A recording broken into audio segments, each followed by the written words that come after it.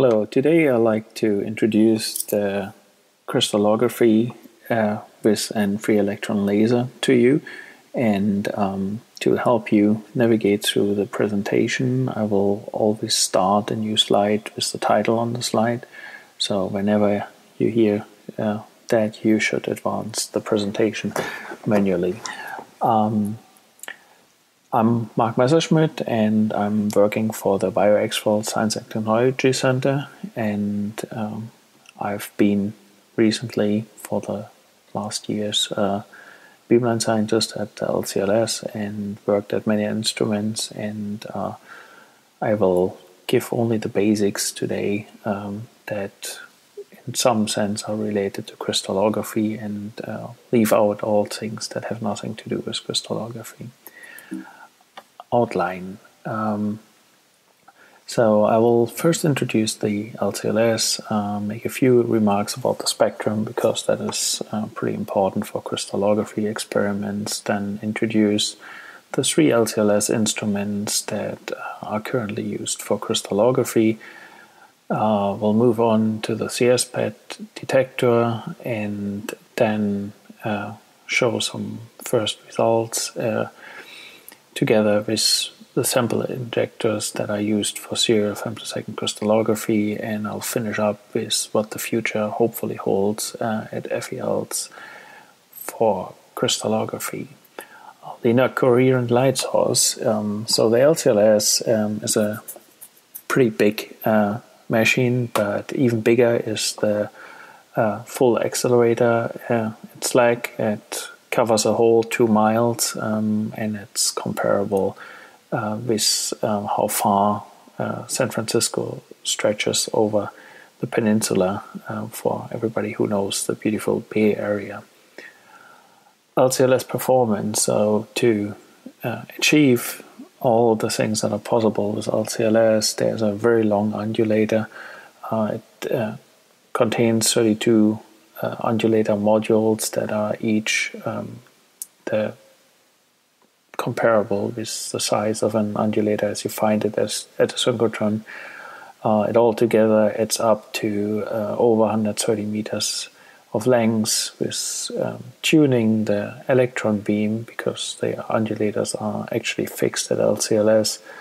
This gives access to 300 EV um, to 10.5 keV uh, radiation. The third harmonic is available up to 25 keV due to um, offset mirrors that protect from higher harmonics um, due to radiation physics requirements. And everything that I talk about uh, becomes possible because there's up to 10 to the 13 photons per pulse um, with varying bandwidth, um, as, as one will see on the next slide.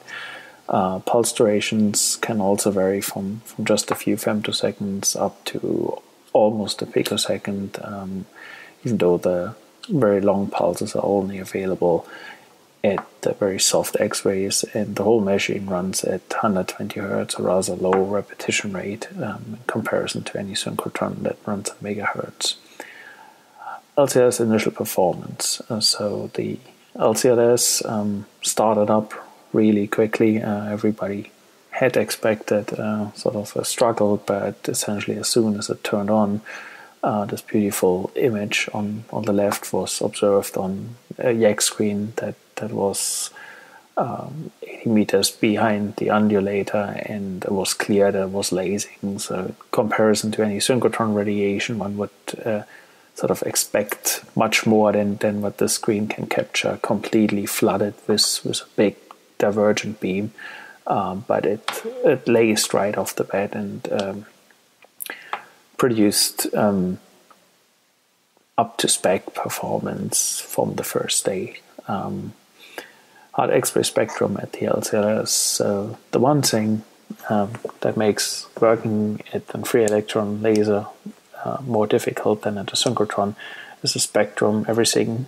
um, about the radiation is born from noise. It's a self-amplified laser um, that comes from stimulated emission at, at the startup, and the result of it is that um, there's there's many many uh, little uh, electron bunches uh, compressed that, that all sort of do a little bit of their own thing and uh, produce a bandwidth and uh, independent uh, lasing parts that, that result all together uh, in a bandwidth as is shown here. Um, on the left, you see the narrow bandwidth version that um, corresponds to something like 0.3% uh, to 0.5% bandwidth. Um, and it looks actually fairly similar over uh, a very large range of X-ray energies.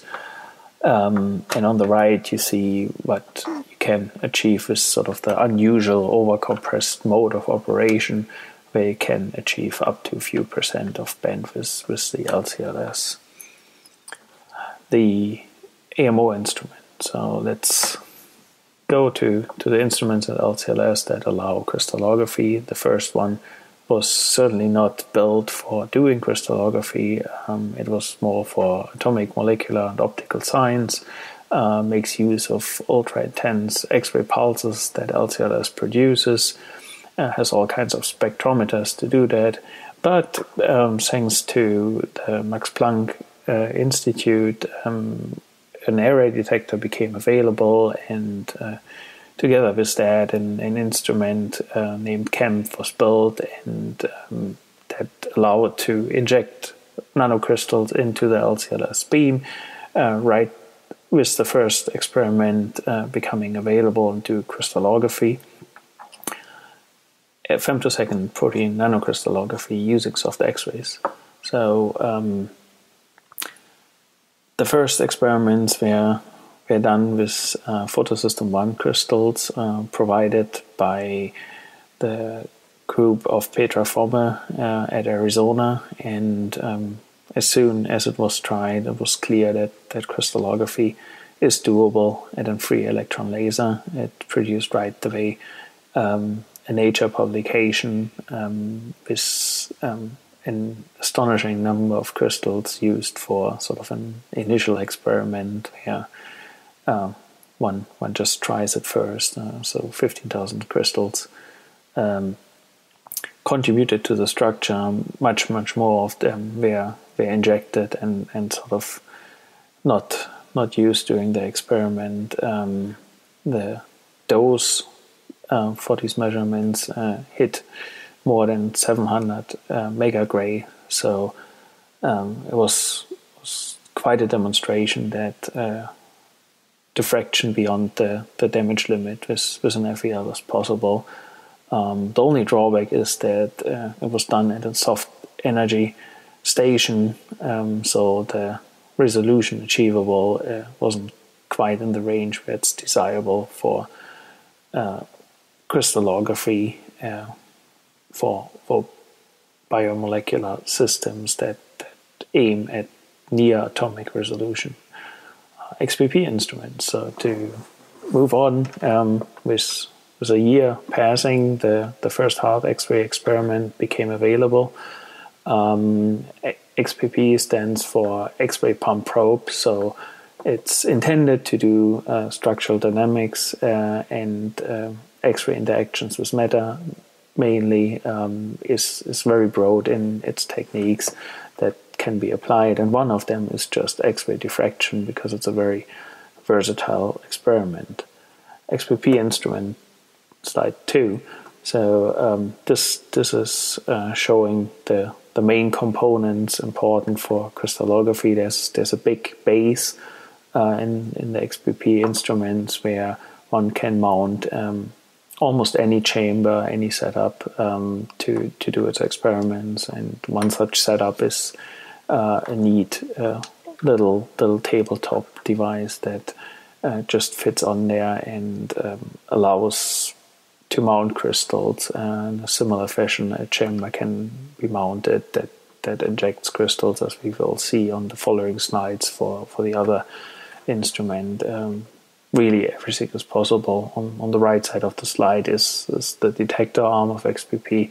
Um, it's it's a big robot with with an arm that allows to uh, place the detector essentially on, on a sphere around the experiment, um, allowing a lot of flexibility for crystallography. That's not quite necessary normally, but in principle, uh, one could utilize it there too. It's it's also possible to just mount a detector in a straightforward fashion right behind the experiment, as it's commonly found in synchrotron stations. Um, X-ray imaging instrument.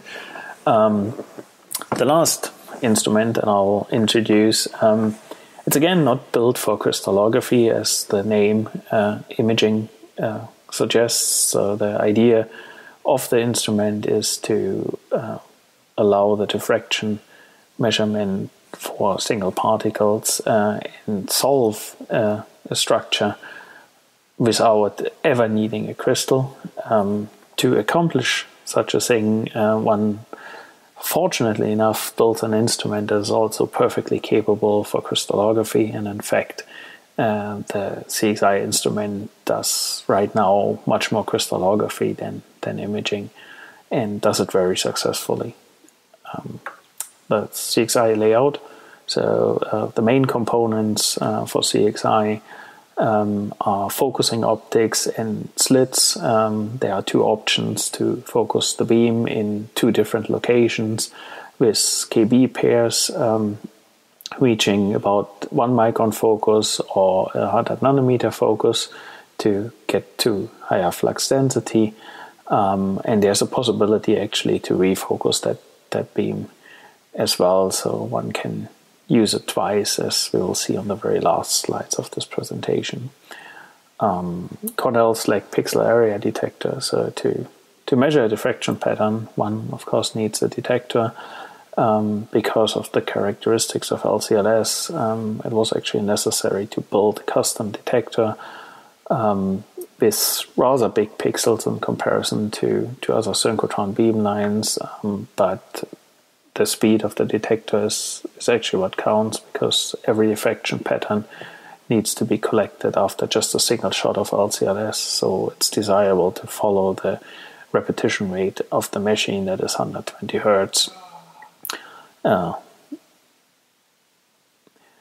high resolution structure of lysozyme obtained using serial crystallography. The, the very first crystallography demonstration um, at this hard X-ray instrument was done with uh, lysozyme, and um, because of the higher energy, um, the the dose was actually greatly reduced over what was uh, demonstrated at soft X-rays, but um, a very nice focus was utilized, and therefore very small crystals could be measured. And because um, the measurement was performed at the high energy and pretty much the highest that was available at that time at LCLS was 9 kV.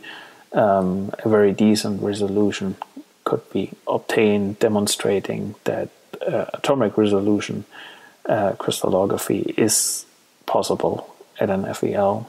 Lysozyme Bragg peaks are observed to the edge of the detector. Um, so the resolution uh, actually reached was 1.86 uh, angstrom, and um, it just demonstrated everything that people have dreamed of at an FEL.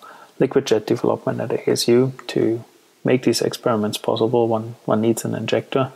Uh, I will introduce three of them. The first one was developed at Arizona, yet again, just like the very first nanocrystals uh, measured at LCLS. Uh, it uses gas to to focus uh, basically a water jet, um, and that allows that uh, crystals bigger than, than the jet can actually be injected.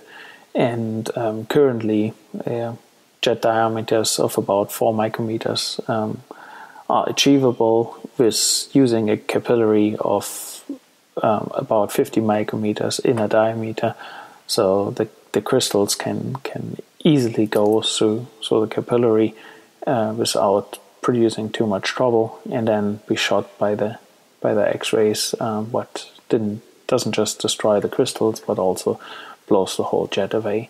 Uh, an alternative of much slower flowing jet and therefore much less sample consumption uh, is a liquid cubic phase injector developed in Arizona again uh, by um, Uwe Weierstall, and um, it really um, drops dramatically the, the requirement uh, for for sample uh, volume available, but uh, it only works with very viscous solutions like the lipidic cubic phase. Uh, the third one, um, also having low flow rates, um, is the electrokinetic injection, uh, and it's it's now also available to to mount on the very same device as the other two injectors, and therefore can even be used for for screening at CXI, and it has similar low flow rates um, and makes use of an electrostatic for- forces to focus the jet down to then interact with the micron size beam. Um, it does uh, require some kind of cryoprotectant because um, the solution would otherwise freeze, and unfortunately, the frozen solution diffracts quite strongly and, and therefore cannot be used for the crystallography experiments. Um, let's go to some results. Is structure determination of uh, cathepsin B uh, by molecular replacement. Um, one of the first things at LCLS that actually showed something new, and uh, there there was crystals that, that were grown in cells and then then isolated um, as as grown in cells. They they actually grow out the cells and destroy them in the process of crystallizing. Um, and LCLS was was good enough to to actually show some new features on on this protein, and um, that was that was pretty exciting as as some first result. Um, PCS program, so to utilize um, LCLS fully, it was, was soon realized that uh, it's very hard to get to beam time for groups and uh, very difficult to, to make the first step. And since um, a little more than, than a year, it's actually possible to apply for just six hour shifts um, in what LCLS is called uh, calling crystal screening. And basically, everything uh, about the setup uh, is fully supported by people uh, arranged by LCLS. Um, it uh, does currently require um, the support of the group of Ilme Schlichting, or, or did so far. Um, and it is, has been demonstrated that one can actually collect full data sets in this just six hours, and it's a little faster turnaround than normal LCLS experiments. Recent publications, so um, there's a few more things that have been going on at LCLS that go in in the direction of uh, structural biology. Um, the the first uh, things have been demonstrated uh, about structure solution from aligned gas phase molecules, basically going in the direction of uh, being able in the future to to solve structures from not crystals but um, isolated molecules hit by an injector. Um, this is done right now, still on soft X-rays, so it's not not quite there, but uh, it it paves the way. Um, it has been shown in the second entry that um, it's it's possible to to solve structures without molecular replacement uh, at LCLS. In this case, with a gadolinium derivative of um, lysozyme um, already mentioned, uh, the lipidic cubic phase injector uh, reduces volume consumption dramatically and so opens up the field to uh, membrane proteins mainly, um, but whatever you can stick in, in something like the LCP uh, could benefit from this greatly. Um, there are a few more methodical uh, papers out there um, to, to minimize the amount of data needed.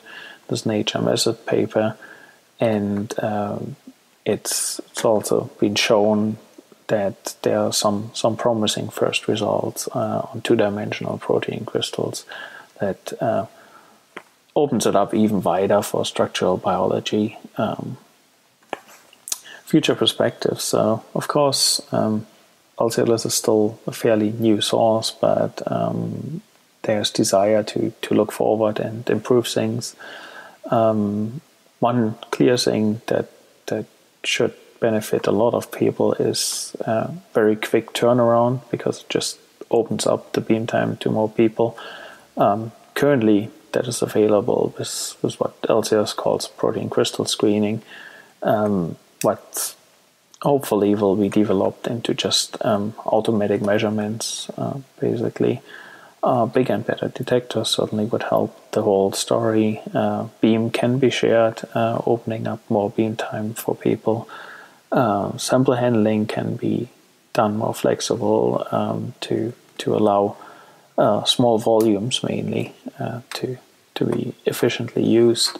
Um, analysis still needs a lot of work. It's it's all but sort of uh, straightforward to analyze the data coming out of an FEL experiment, but um, everything is, is moving in the right direction and its uh, processing change chains have been developed and um, it it doesn't need quite as expert users anymore to, to do these experiments and analyze the data as it as it was the case just a few years ago. And there are certainly new sources around. Uh, uh, SACLA in Japan uh, provides now the second opportunity of an FEL with very similar qualities um, as LCLS did, and uh, higher repetition rates are, are also uh, basically around the corner with what the European XFEL will offer. Um, creating more beam time at LCLS um, is, of course, um, also a very desirable thing. The easiest way to do so right now is imagined with, with just refocusing the beam, duplicating the experiment I just introduced, and uh, having beryllium lenses in the middle. Uh, European XFEL um, will will go uh, a lot further, uh, offering more undulators, um, three in the initial state, um, and uh, initially just the same amount of beam lines uh, coincidental. Uh, so six six initial beam lines there as well. But uh, you see the the gray boxes are there. Um, there's capability to offer even more beam lines. Um, serial femtosecond crystallography should be doable um, actually as a parasitic experiment um, behind the single particle. And biomolecules uh, imaging experiment so that that should offer just additional beam time and therefore make it much more available. Uh, European XFEL slide number two, the, the rep rate of the European XFEL is much higher. Um, it, it starts at 5 megahertz uh, in, in bunches um, that, that come at 10 hertz, um, as it's currently uh, envisioned one can use um, up to 300 pulses at, at 10 hertz for serial femtosecond crystallography, um, giving you one and a half orders uh, more data potentially uh, than than is currently possible with with LCLS, for example. Um, to make full use of it, um, one one needs fast triggers and very fast sample delivery because it it's not the, the 3000 pulses that counts, but the 5 megahertz rep rate instead of the 120 megahertz. So that's that's a little bit of a challenge that uh, is currently hard worked on and hopefully will be solved uh, before the beam becomes available. Um, there will be a large energy range available. Um, it could be all the way down to 3 kV, but it's probably not so interesting for structural biology. But um, most certainly the, the upper end is, is much further than uh, at LCLS, and therefore more edges become available if one thinks of phasing. For example, higher resolution becomes much easier with, with higher energy, and it's a dedicated experiment, so things should become a lot easier. Um, and as already mentioned, it uses the refocused beam, so hopefully that will result in much, much more beam time uh, from all aspects possible.